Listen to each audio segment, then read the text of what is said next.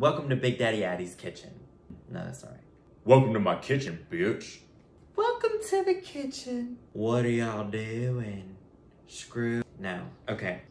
So today we're gonna be mixing this LaCroix with some Balls on Me, which I love, vinaigrette, and we're gonna see if it tastes like Coke Zero, because sometimes I let the intrusive thoughts win.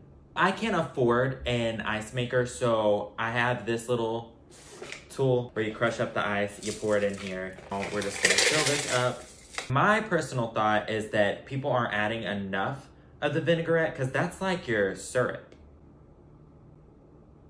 So we need to add more balls on me. Let's put the in there just a little. That should be enough.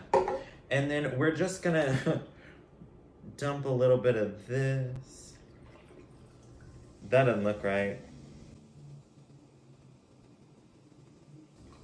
Okay, so here goes nothing. Should I add? Okay, we're gonna try it. Bottom, bottoms up.